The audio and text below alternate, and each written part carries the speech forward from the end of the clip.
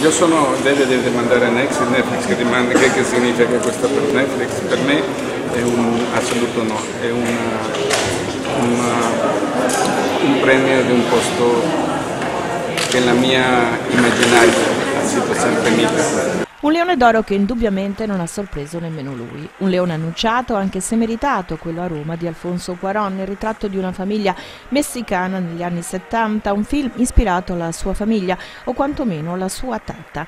Una pellicola in bianco e nero con spunti intimisti, gradevoli, una resa neorealista riuscita e qualche tocco di ironia a stemperare la crudeltà di alcune situazioni che non hanno mai sopravvento sull'amore, l'affetto, la generosità, l'umanità.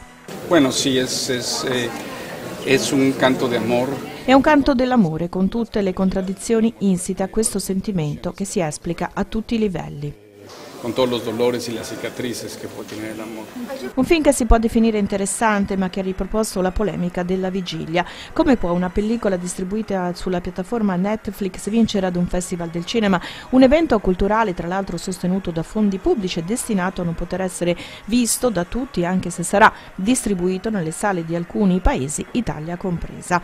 Vivace la reazione dell'Associazione degli Autori e della grande distribuzione che invitano il direttore Alberto Barbera a riflettere riflettere sulle scelte per la prossima edizione.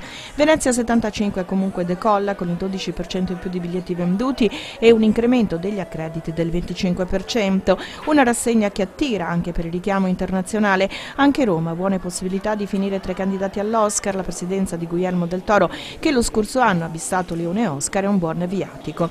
Annunciati anche Leone d'Argento della giuria a The Favorite di Orgos Lantimos, film che porta a casa anche la Coppa Volpi per la miglior attrice Olivia Coleman, un doppio riconoscimento per il quale è necessario anche il voto del direttore della rassegna. Leone d'argento per la miglior regia The Sister Brothers di Jack Odia, Coppa Volpi a Willem Dafoe per Eternity's Gate, il consapevole Van Gogh.